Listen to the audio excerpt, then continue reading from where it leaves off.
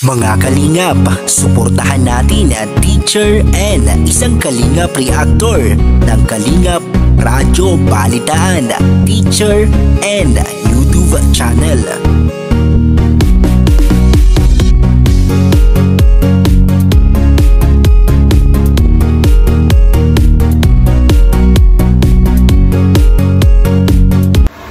Hi everyone, this is Teacher N and welcome back to my YouTube channel. So today's video guys, ayan, gusto ko magbigay ng reaction tungkol dito sa mga nagbibigay ng mga pagbabanta dito sa buhay ni Princess Joy. So ayan, uh, bago syempre ako magbigay ng aking reaction tungkol dito, gusto ko lang munang shoutout ang Team Kalingap syempre sa pamumuno ni Kuya Val, ni Ate Edna at ni Kalingap Rob. And I would like to shout out din ang aking katambal sa Kalingap Radyo Balitaan. Walang iba kundi si Kuya Noli, si Sis Ganteng Ime at saka si Kalingap Maymay. Ayan, she's still a part of our uh, tambalan. Ayan, si Sis Maymay. So ayan, shout out sa lahat ano. And syempre sa lahat ng mga Karepa reactors, sa lahat ng mga reactors, sa lahat ng mga uh, supporters, sponsors, and lahat ng mga solid supporters ng Kalingap. Shout out to all. So, ayan mga Kalingap, ako'y nalulungkot na ito nga, aking nalaman na nakakatanggap ng mga pang uh, pangbabanta itong si Joy ano sa kadahilan ng siguro ay uh, inggit kasi kung iisipin natin, ano naman ang magiging dahilan ng pagkakaroon nila ng ganitong mga pagbabanta dito kay Joy? Ano ang maaaring maging dahilan ng galit, di ba? So, kung uh, personal na relationship naman between doon sa mga nagbabanta, wala naman silang, kumbaga, wala silang personal na relasyon ni Joy. Kumbaga, hindi nga pa sila nagkita. And hindi nila kilala si Joy personally. Hindi pa nila nakita. And ayun, nakakatanggap na itong bata ng mga ganong klase ng pagbabanta nakakatakot kaya ang binabandaan, di ba? Nasasabing isa-salvage ka, papatayin ka. Hindi po ganun, uh, hindi po biro-biro ang ganitong klase ng mga pagbabanta. Ano po? Ngayon, sa tingin ko dito, itong mga itong mga nagbibigay na to ng pagbabanta dito kay Joy, sila ay mga bashers ni Joy. Bakit ko nasasabing bashers? Kasi ano, uh, wala silang ibang hinangad kundi puro uh, mga kasamaan, ano, puro pagiging uh, negative dito sa kay Joy. And syempre naiisip ko din, bakit kaya sila ay uh, nagiging basher nito ni Joy? Syempre unang-una, hindi nila kayang uh, hindi nila kayang uh, ibit, ano yun sa Tagalog, hindi nila kayang higitan si Joy Diwata. Kasi unang-una, napakaganda ni Joy, di ba?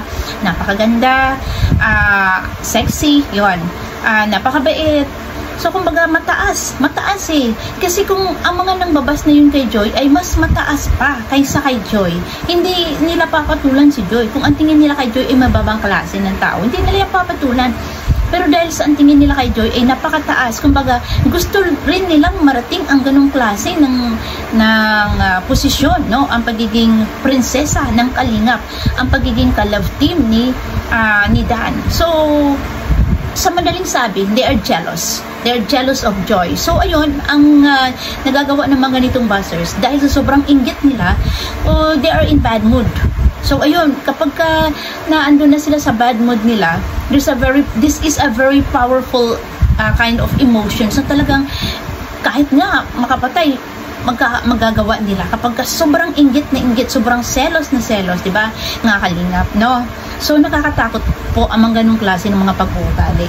So, maybe they are jealous of Joy kasi nga ito na itambal dito kay Kalingap Dan. And, uh, ayun nga, siya ay natinaguri ang uh, prinsesa ng Kalingap. Ano? So, yan, jealous. Ano pa? Uh, maybe, iniisip nila na mas superior sila. They feel they feel superior kaya may mga bashers na ganito ang akala nila mas lamang na, lamang sila kay Joy and Joy uh, doesn't deserve na magkaroon ng mga ganitong mga opportunity sa, sa life so kumbaga mas kami ang dapat na magkaroon ng mga ganyang klase ng opportunity.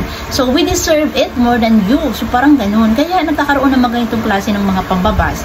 Ano and hindi nila kaya na hanggang bas lang hanggang mga salisalita na lang. Kung bang ginawa nila na ganun na lang sila nag uh, na ano yun, nagbanta. So, ginawa nila itong para bang, sige nga, bantaan natin, akong tatakutin natin. Hindi nila alam, itong klase na ito ng pagbabanta, ito ay uh, merong uh, karampatang kaparusahan.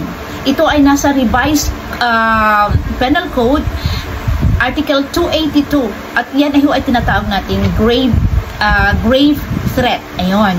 So, kapag ka nagkatanggap kayo ng mga ganitong klase ng pagbabanta, agad-agad ninyong ipablatter.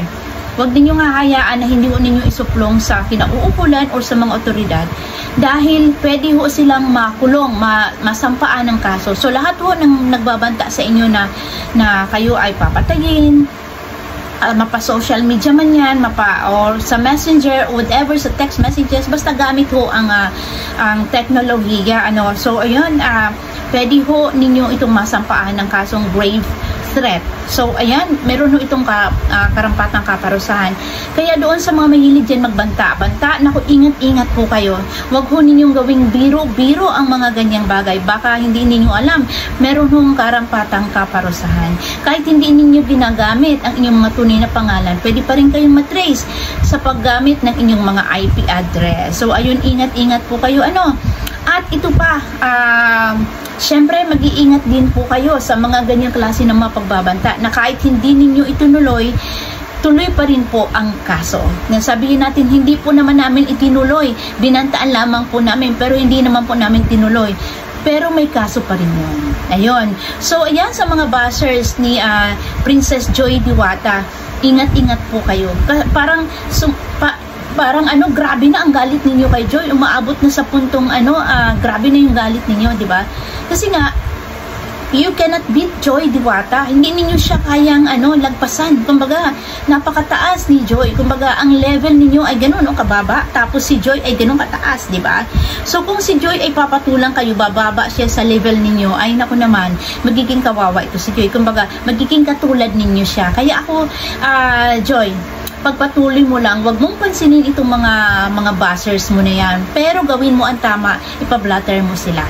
So, ayun mga kalingap, ano, ayan, sa mga lahat ng sumusuporta dito kay Dan at saka kay Joy, tulungan natin sila lang, lalo na si Joy, ano, na pagka may nakita kayong ganyang klase ng mga pagbabanta kay Joy, Diwata, screenshot po ninyo at isend sa kinakuya Val para mabigyan po ng uh, tamang aksyon itong mga ganitong klase ng mga tao.